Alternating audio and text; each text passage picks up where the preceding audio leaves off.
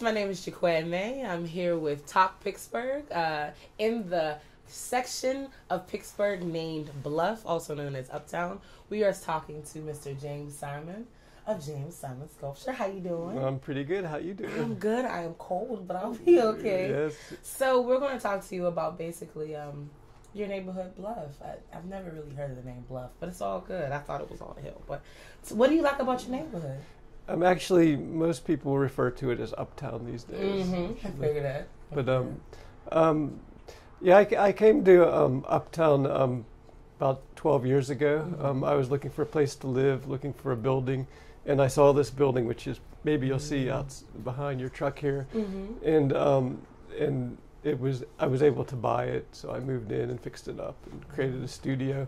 Um, th- the wonderful thing about Uptown particularly is the location. Mm-hmm. You know, it's close to downtown, close to the South Side, uh, close to Oakland. Right. You know, so that's the one really cool thing about it. And um, and and when when I when I when I first came here, this street, this is Gist Street here. It was most it was lined with prostitutes all the time. Wow. Um, it's this is in 2000. So there's lots of drug drug dealing and prostitution, and, and, and this was the place to come for that. And then um, when we when we moved, when I moved in here, um, my, my buddy bought the house across the street, and we're, we're both artists. So we said, well, let's put art out on the street. Um, and so so we we start we started to create. Um, um, art on the walls and sculptures on the streets and stuff, and slowly um, people took interest, a little more interest in the neighborhood, and, and the prostitutes started to leave.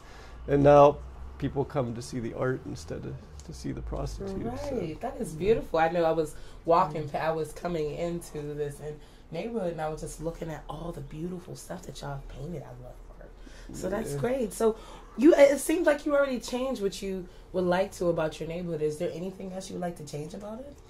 Um, I think it's just the beginning, actually. You know, Right.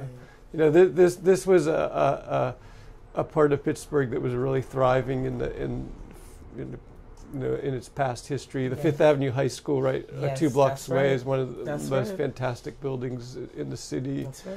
and uh, and my my parents my my dad actually went to the Fifth Avenue High School and grew up around here, and and and another interesting thing about this area is it's very it's always been diverse. You know, Italians, Jews, African Americans, all kinds of people mixed in. So it's it's had a, a uniquely um, mixed uh, flavor in, in students and, and and so forth. So um, I mean, and, and it still is. You know, and yeah. So. That's cool. So, I mean, I could tell that uh, Uptown slash buff Bluff. I'm sorry. Um, it's just a lot of uh, residential areas. But are there any landmarks in Bluff? Uh, there's landmarks like um, um, Duquesne University is here, Mhm, if that's what you mean by landmark, Right. you know. And Mercy Hospital's um, been here for a long time too, Mhm. you know. and um, um, and then of course Fifth Avenue High School Right, is is, right, is right. probably the, the the most spectacular landmark of Uptown, you know. Cool. So Uptown's on it's on the move now, you know. it is. It's had a hard time for a long time. Now Mhm. people are taking interest in it and fixing up buildings and, Mhm. and stuff, you know. So it's it's getting better. That's great. So, actually, so in this neighborhood, in this community, would you be considered a local hero, or are there any other local heroes that you would feature that definitely made Bluff slash Uptown what it is today? I'd probably be considered an oddball more than a local There's wrong with hero. oddball. I'm an oddball. I love being an oddball. Um, I I think that uh, uh, there's still there's still some great old timers here. Like there's so- um, just on on Tustin right here. There's still several families that have been here for generations. Hmm. and and and that's always great when you still have some uh, people that have know know the whole history of of, of uptown have been Mhm. here a long time. So Mhm. yeah, yeah. That's cool. So it's the basically it's the families, the generations that are the local heroes of this community, and I think that's really really amazing. So you were just Yeah. talking about the potential of it. Do you have any idea what could become from Bluff for right now? I mean, it looks amazing, but I know there's so much more. Yeah, well, well, like any like any area that's that's had a lot of um, um, where buildings have fallen down and people have left. The the the I I think what, what I what I would like to see and what a lot of other people around here would like to see is is buildings fixed up, houses mm-hmm. remodeled, others other development stuff built, and maybe and it, it would be great to have like at least one restaurant. You know? And that would there's, be great. There's That really not definitely mu- would be there's really not that much right now in the. Yeah, in- well, you in know what? In addition to that, I mean, on the hill on Centre Avenue, they're building a Shop 'n Save, and for like since what South Side all the way to Centre Avenue Market District, that's basically like a really big of a food desert. Like, there's really not a place where they have access to fresh fruit and vegetables Yeah. or those type of things. So I It's- definitely think that would maybe make a change. It's it's taken a, a long time for them to to build Yeah. that. I saw an August Wilson play that where they were talking about uh, they needed a grocery store like in the seventies, right? Yeah. So That's right. so um, so that that's that's good, you know. Um, um, yeah. What are we talking about? So, you, what's the neighborhoods that you would like to imitate for Bluff? Like, what are some neighborhoods that they can look to for inspiration when it comes to planning? Um, I don't think there's any neighborhood that we're particularly trying to copy, you know, Mhm. other than the the the we, we, we created our own. We started a community group here called Uptown Partners with the idea of trying to have a voice to to, to sort of guide what might happen here, um, with the input of all the people that live here. So Mhm. so so. Um, you know, to fix up houses and the right kind of development that would be be make sense for this area. You know, to try to get some food, some restaurants, uh, things like that.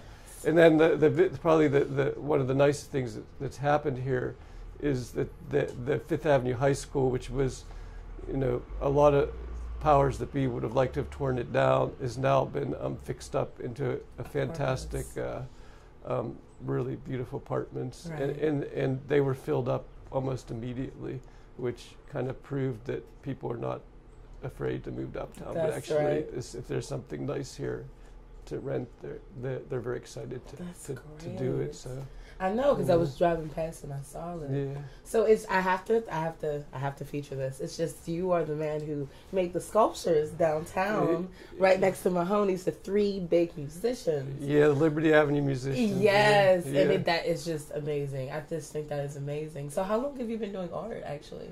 Uh, since high school, you Oh, know, wow. I always it was about the only thing I was good at. You know, sort sort of good at it.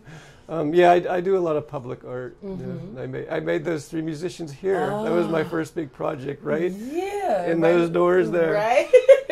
And um, yeah, we made them here and oh, that took, is so took them in my little truck downtown. Wow, and they're humongous. and and when we were making them, um, you know, this Gist Street is one of the most popular streets for um, uh, like the, the guys that love to come and dig holes here. You know, the the the water people, the gas people, they dig holes here all the time, all the time. You can see. Maybe they do that everywhere. I don't know, but, but they sure like to do it here.